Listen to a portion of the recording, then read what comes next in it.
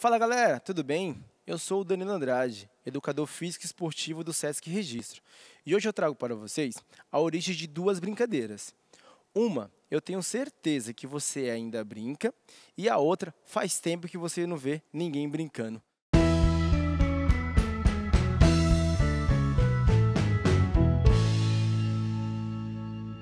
Uma das brincadeiras que eu trago para vocês é o Jockey Pô. Essa brincadeira, muitas das vezes, é usada para início de partida ou para ver quem vai escolher algum time para jogar. Você sabia que os primeiros relatos dessa brincadeira de Jockey-Pô está na dinastia Han, entre os anos 206 a.C.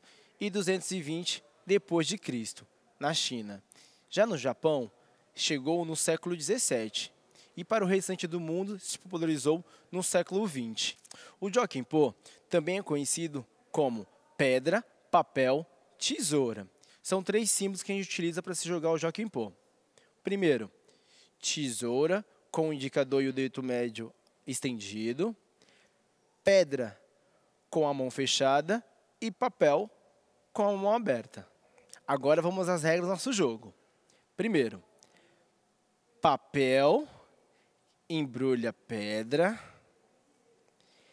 pedra, quebra tesoura e tesoura corta papel.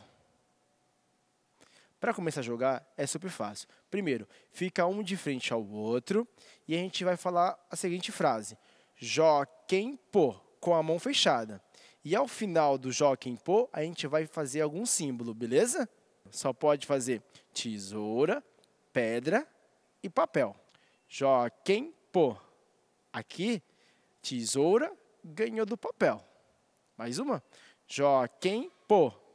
Aqui, papel ganhou de pedra. Joquem pô. Aqui, pedra ganhou de tesoura. Agora chama um amiguinho e pede para disputar junto com você. E a outra brincadeira que eu trago para vocês é a cobra cega, ou cabra cega, como era chamado antes essa brincadeira. E ela teve sua origem na dinastia Zhou, nos anos 500 a.C. Para começar a jogar a cobra cega, basta ter um pedaço de pano para poder vendar os olhos. Com isso, vai escolher alguma criança da turma para ser a cobra cega. Essa criança vai vendar os olhos e vai tentar encontrar as outras. Enquanto isso, as outras começam a correr. Então, ao encontrar alguma criança, ela tem que tentar acertar o nome.